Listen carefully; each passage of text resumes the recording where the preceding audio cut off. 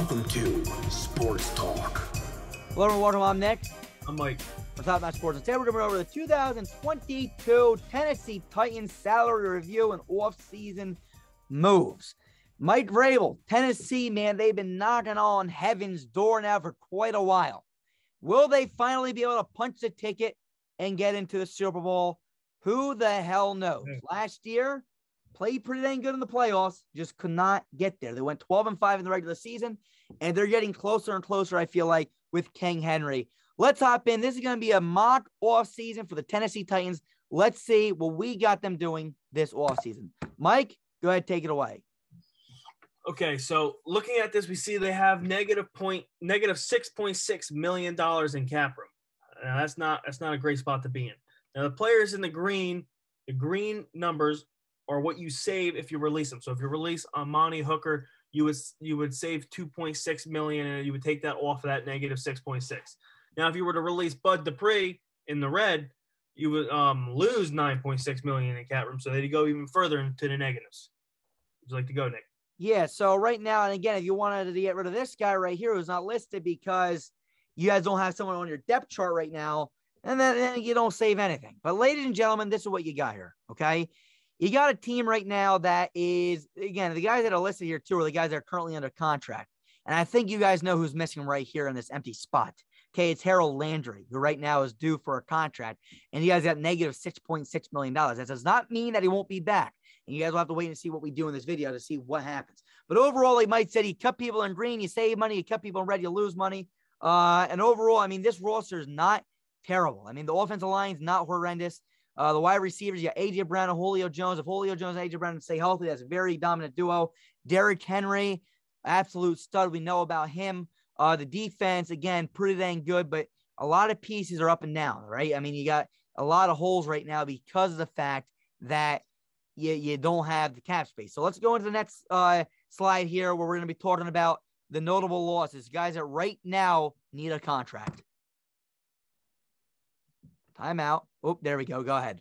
Okay, so some of the notable losses, but before I get into it, I'd like to thank our numbers guy. He figures out the expected salary and a percentage of snaps played. Noah, the firefighter, Paul Thompson. Without him, I don't know if we'd be able to get all this done. But now, starting with the this is the big name right here. This is the guy they got to make sure they bring back, regardless of what they do. Harold Landry, edge. He, he's looking for a four-year, sixty million dollar deal, and he played eighty-nine point five percent of the snaps this year for the Tennessee Titans. Next, we got center Ben Jones. He wants a three-year, twenty million dollar deal, and he played ninety-seven point nine percent of the snaps for this team.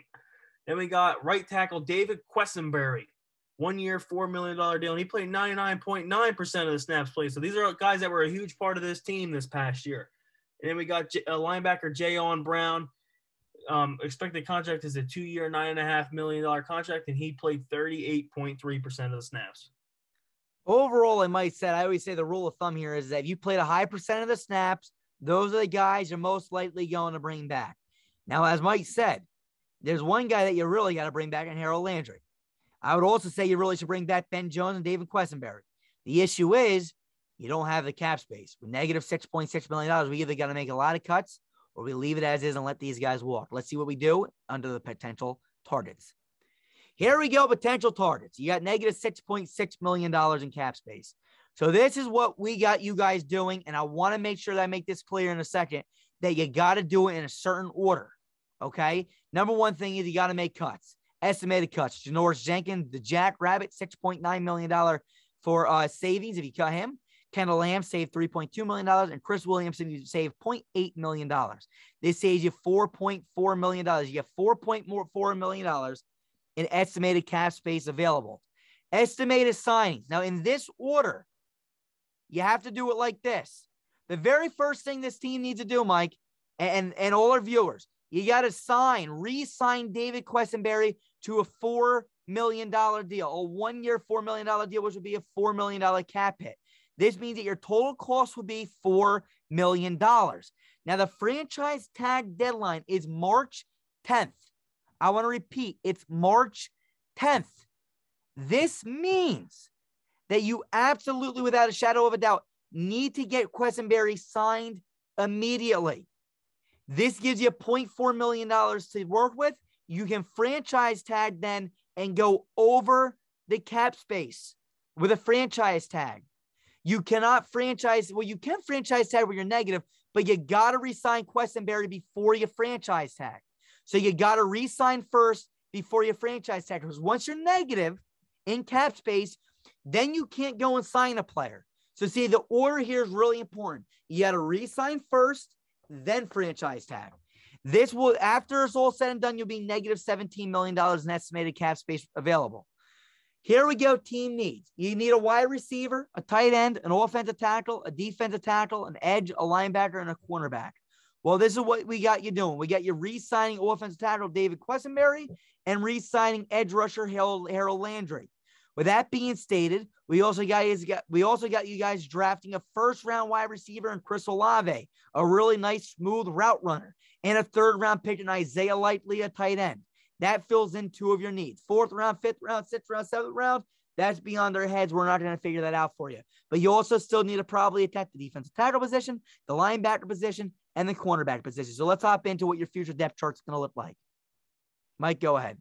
Okay, so the future depth charts usually there would be green if they sign anybody in free agency. This team didn't sign anybody in free agency. So then next we're going to look at the um the re-signings in the in Harold Landry the franchise tag that are they're both in orange.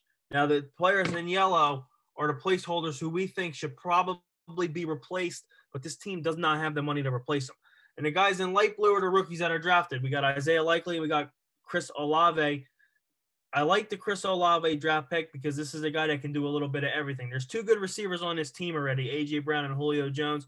Chris Olave can run routes from the slot and from the outside, so it helps if Julio Jones or AJ Brown, who both have injury history, if one of them get hurt, he can go play on the outside or he can play in the slot if they're both healthy. I think Chris Olave is a nice player for this offense. Absolutely. So overall, when you look at this team, man, it's like – you know, you're losing a lot. You're losing Ben Jones, right? The starting center, which sucks. So you have to try to address that later in the ra- later in the draft or whatnot. Uh, and we feel like, I mean, we could address that in the first round, but there's just no. I, uh, I find it very hard to believe that there's after Linderbaum goes, there's no first round center. I'm sorry to tell everybody. So he's already off the board by the time you guys pick. You guys get Chris Olave, a guy who's gonna be replacing Julio Jones in a few years anyway for you guys. Isaiah Likely is another pretty good pick as a tight end. Again, there's not too many great centers in this year's draft, so it's going to be interesting to see what you guys do. But overall, upgrade, downgrade from last year, I'm to be honest. Um, you guys are kind of honestly right where you guys kind of left off from last year. Uh, you guys are losing a lot. I'm to be honest, but you're also kind of bringing in some pretty good pieces. You're bringing back Landry, you're bringing back Quessenberry, you're bringing in Olave, who's to be another really good weapon, and likely but you're losing a hell of a lot. Mike, honestly, what do you think about this team? Better than last year, worse than last year with these moves that they're making with the cat space that they have? Well, I look at this team and I, I think they're to need a linebacker. Like you got Zach Cunningham, who's who's a good linebacker, but you need another one. David Long probably is not going to cut it. Um, their defensive line is pretty good. I know they lost guys, but when you have studs on your defensive line, it makes up for guys that may not be as good, giving them better matchups. On offense, I like the Chris Olave pick, but then again, how is he going to be utilized? We see Ryan Tannehill hand the ball off to Derrick Henry 35 times a game. Is, is Chris Olave really going to be utilized in this offense? These are all things we need to take into consideration. We need Ryan Tannehill for the Texans to have a successful season and actually have a run at things. Ryan Tannehill needs to make the big time throws and he can't turn the football over. And we have not seen him do that to this point. So I think they're kind of right around the same spot as they were last year. Maybe the Colts jumped them. The Colts may have finally jumped them if the Colts have good quarterback play. It all depends. Uh, it's coming down to the quarterbacks for both these teams. I truly do believe. I agree with you. Look, if you go back and watch our Colts video, I definitely think that you're going to be a little bit more happy with the outcome if you're a Colts fan than if you're a Titans fan. But, ladies and gentlemen, again, with the cap space that we have, there's ways that you can free up this million dollar cap space negative that you're in. You can do it by doing post June first cuts. I don't know what your guys' is at cap space is. We did this video. Uh, it's very tough to figure all that out for every single team. We did 32 videos. So look, it is what it is. Right now, these are the moves that we can logically make and make it be fair. There's okay. possibility you can re- restructure players, but there's no way we could possibly predict that. It happens every single year after we replace these videos, and people are like, "Hey, look, my team freed up this amount of money." we can't predict restructures. We just can't do it. It's Yeah. impossible to predict.